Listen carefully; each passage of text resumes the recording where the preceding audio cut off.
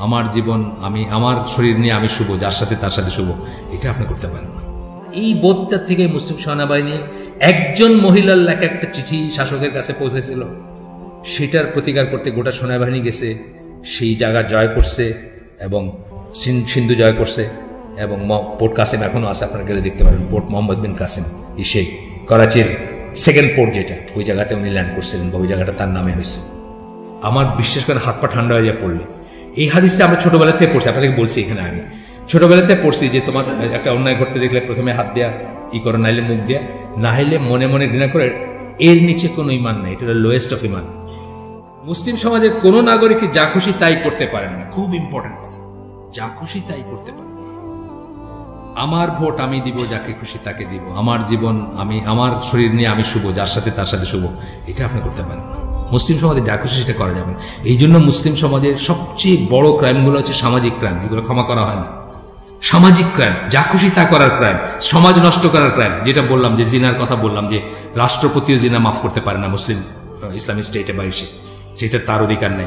তিনটা মৃত্যুদণ্ডের কথা বলি না আমরা তিনটার মৃত্যু দুইটার মাফ আছে। নানাভাবে মাফ পাইতে পারে। একটার কোনো মাফ নেই। জিনা যদি প্রতিষ্ঠিত হয়ে যায় কেউ করছে আর ম্যারিড অ্যাডাল্টারি বিবাহিত হ্যাঁ, মৃত্যুদণ্ড ছাড়া কোনো রাস্তাই নেই। কেউ মাফ করতে পারবে তাকে। তারপর বলছেন যে, তাকে অবশ্যই মুসলিম সামাজিকতাকে সমীহ করে চলতে হবে। সমীহ করতে হবে। আপনি যা ইচ্ছা তাই করতে পারেন। সমীহ করে চলতে হবে।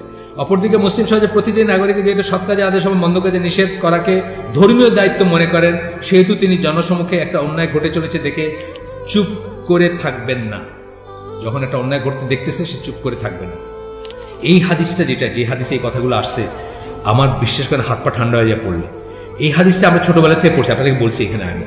ছোটবেলা থেকে পড়ছি যে তোমার একটা অন্যায় করতে দেখলে প্রথমে হাত দেয়া ই করো, নাইলে মুখ দেয়া না হইলে মনে মনে ঘৃণা করে, এর নিচে কোনো ইমান নেই, এটা হলো লোয়েস্ট অফ ইমান তাহলে একটা খারাপ কাজ ঘটতেছে দেখে আপনার যদি মনে কোনো বিকার না ঘটে ইউ বেটার চেক আপনার ইমান আদৌ আছে কিনা। আপনার খারাপ লাগতো ন্যাংটা ছবির একটা পোস্টার দেখে আপনার কিছুই লাগল না, আপনার ইমান চেক করা উচিত যে আপনার আপনার ইমান আছে কি না আদৌ। আপনি হাত দিয়ে আটকাতে পারেন নাই, ওই লোকের অনেক পয়সা। সিলেট শহরে সবচেয়ে বড় লোকের বিজ্ঞাপন এটা। সবচেয়ে বড় মাসালালার বিজ্ঞাপন। হাত দিয়ে আটকাতে পারেন না মুখেও কিছু কইতে পারেন না আপনারে গায়েব করে দিবে, গুম করে দিবে।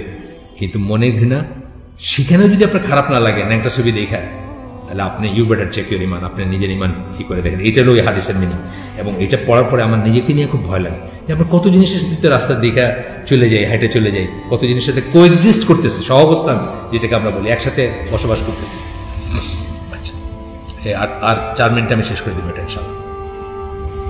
যতটুকু হয়েছে, তাড়াহুড়ার কিছু নাই, আমরা এরপর থেকে পড়ব, ইনশাল্লাহ। তো, এরপরে কি বলতেছেন যে এই সূত্র ধরেই পার্শ্ববর্তী কোনো ভূমিতে কোনো অনাচার বা অবিচারের সংবাদে নিগৃহীত কোনো মানুষের আহ্বানে স্বর্ণযুগের মুসলিম সেনাবাহিনী সেই অন্যায়, অবিচার ও জুলুম নির্মূল করতে সমুদ্র পাড়ি দিয়েও সেখানে ছুটে গিয়েছে।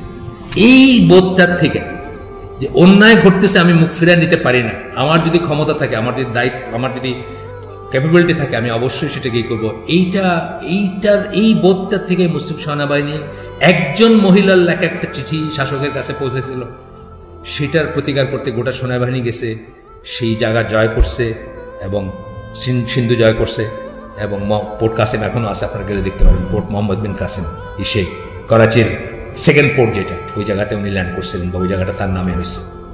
ইসে, সিন্ধু, ইসে।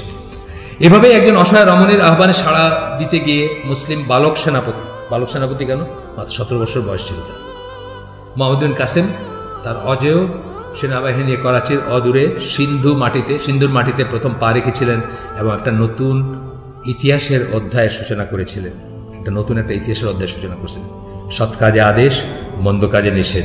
অন্যায় ঘটতে দেখলে ভিতরে কৌমোশন আসবে, ভিতরে মানে অন্তত প্রথমে খারাপ লাগা আসবে, সেখান থেকে কি করা যায় এটা চিন্তা করবেন এবং সেইভাবে সেটাকে আটকানোর চেষ্টা করবেন।